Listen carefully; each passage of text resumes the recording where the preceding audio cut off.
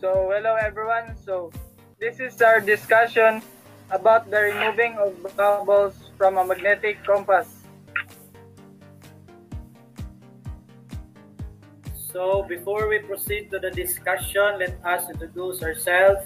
I am Cliff Richard Canape. I am Mark Lister Dayonot. I am RV Abahar.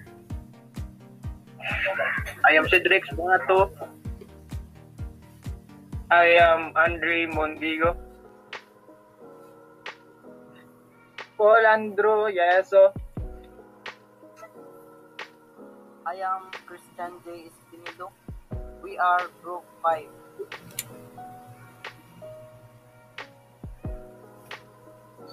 So, discussion board. So, these are the following that we need to discuss. So, number one, the process of removing bubbles from a magnetic compass involves multiple steps. Choose one that you and your group believe is the most crucial step. Explain why you think it is important. For us, we believe that the most crucial step in removing bubbles from magnetic compass is filling the magnetic compass compass fluid using a syringe through the hole and making sure that there are no bubbles because a magnetic compass compass is a compulsory part of the bridge navigational equipment. An appearance of bubble of magnetic compass means that some of the liquid has somehow escaped the bowl. This is a bare occurrence and must be remedied immediately.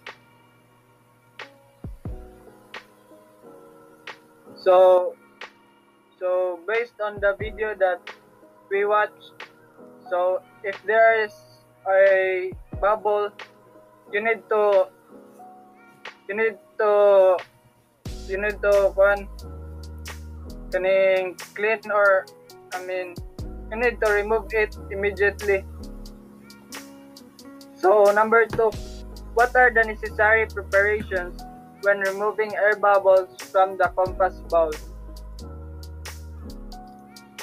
Necessary preparations before removing bubbles the magnetic compass is to prepare the needed supplies or materials like magnetic magnetic compass, fluid, and syringe. So, before ta mo remove sa bubbles sa magnetic compass, magnetic materials like magnetic compass fluid and syringe.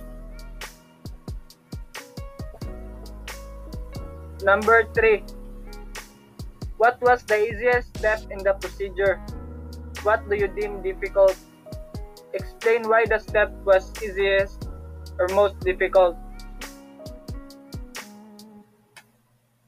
For us, easiest step in the procedure is the opening of bolt and the most difficult one is filling the magnetic compass fluid using a syringe through the hole and making sure that there are no bubbles.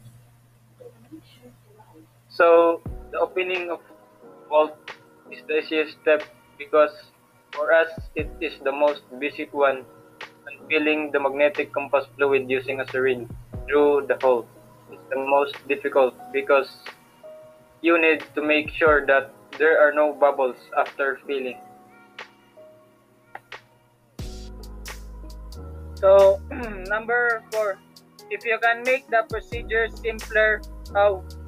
So if you can make the procedure simpler, if there's a way by which we can improve the quality of the compass, making it leak free, the better. So so that's all.